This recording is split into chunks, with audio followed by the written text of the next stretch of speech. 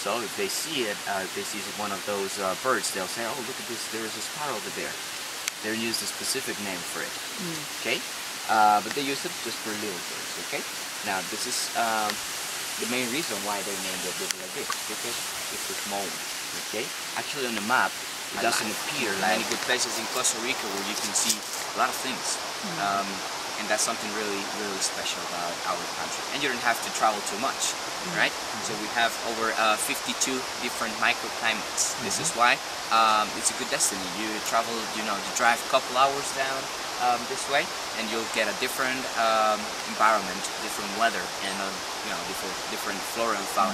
There's something really nice. You Find the main cities like San Jose, Alajuela, um, they come out from this national park.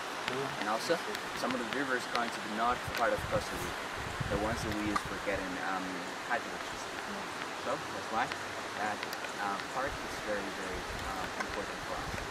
And the other one is named Coasco Cieno. And um, this water they have is a good place for them to, you know, it's a good habitat and also a good place to um, get gone. food. There you go. It's a big jump. He's gone.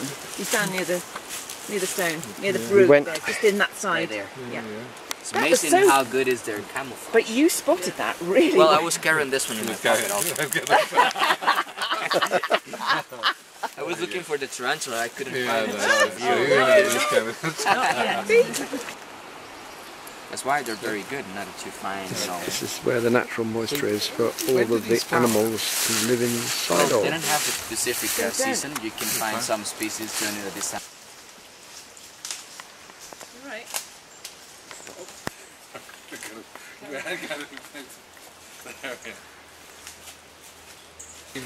So this is where, this is the location for an armadillo, he said in his best David Attenborough voice. Maybe. So this is the lo- uh, Hard to see. very covered in location of the lodges at, on this establishment.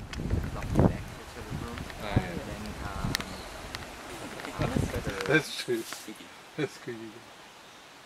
So people don't put birds in cages so much these days. It's not fashionable. Just, just the ones that were, you know, oh, I see. modified They're genetically, imported, and Oh, I see. they cannot survive outside of I the see. Yes. cage. Yeah. And that was the sound of the, of the thrush, Oh, like a squeaky great. Gate. can't think of anything else. Ah. Right. They poop themselves. Many insects they do that.